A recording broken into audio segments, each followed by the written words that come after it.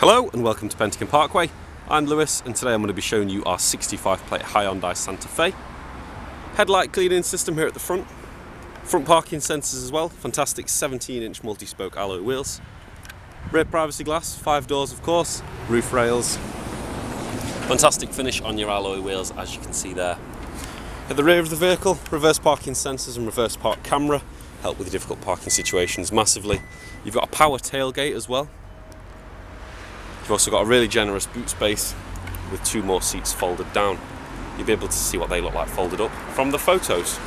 You've also got an option to drop those seats down as well and create even more space if you'd need it because it is a really generous boot space. Fantastic leather upholstery throughout the vehicle, three seats here in the rear with plenty of headroom and legroom for your rear seated passengers. But now I'll get sat in. So in the rear here, you've got them blinds, rear privacy glass as well. You've got heated seats, high and low settings on the outside too, and of course front electric uh, electric windows. And you've got front electric windows as well, which are obviously controlled here. You've got central locking buttons as well as remote central locking and keyless entry. You can see it's keyless entry because of the little black button just here. Electronically adjusted seats in the front too. And you've got the memory settings up here as well so you don't have to fiddle every time that you change drivers. Electric door mirrors just below that and you have got a handy tuck away function which means they will tuck away nicely when you do lock the vehicle. Keyless ignition as well which means stop start button once the key is inside the vehicle because the key's in my pocket. Starting down here though, you have an eco mode for improved fuel efficiency, lane keep assist, traction control, and you've got some light output settings on there as well. Let's get my seat back. You've got uh, a leather steering wheel, and on there you've got some cruise control and speed limiter options, which can be set and cancelled really easily. Buttons to control the dash and the trips down here as well. Bluetooth buttons for safe and legal use of a mobile phone once paired, and then handily placed media options as well just there.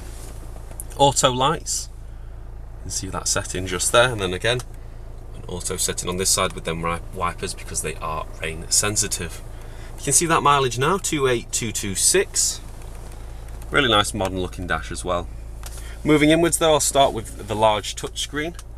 It's got preset digital lists on the radio, which mean you can find your favourite stations really easily. Media inputs, you've got AUX and USB, and of course Bluetooth, handy easy to use dial for the volume there and then you've got satellite navigation I'd just like to show you that now so you can see it's a really simple and responsive and easy to use navigation system you press the map to see the map of course and then the nav button so, can, so that you can change your destinations and the routes you've also got handy things like points of interest and parking on there and you can save your own favourites just down here on that bottom right button Further down from that you do have climate control and it is dual which means you can change each side of the car independently. So what I'll do is I'll open it up onto the full screen by pressing that climate button and now you can see that. So from here you can make changes to the temperature on either side of the car using the two buttons here, up and down of course, and then there's a dial for the fan speed and you can see that making changes to that nice graphic there. There is an automatic setting as well for the whole car and then the mode changes the fan directions. You can see me cycling through those now. Dual means you can dual them both together, so you can change both sides at the same time, as you can see me doing now. Then you've also got air conditioning and front and rear windscreen.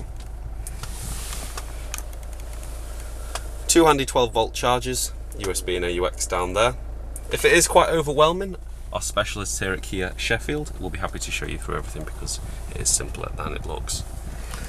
Further down you've got heated seats so high, medium and low settings in the front and then you've got vented seats as well and if you've not heard of vented, what that does is it blows cold air inside the leather so that you don't stick to it in the sticky summer months. Parking brake, some useful storage down here as well as there for your bits and bobs or your media devices. And then you've got your parking sensors and park assist just here which can of course be switched off.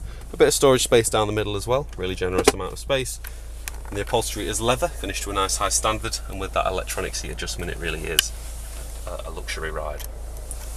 Through into the back, you do have Isofix tethers on your outside too, and a generous third seat in the middle there with a handy fold down armrest. Now there's a lovely pan roof, which is controlled really easily again, just here, This button, you push it forward or back.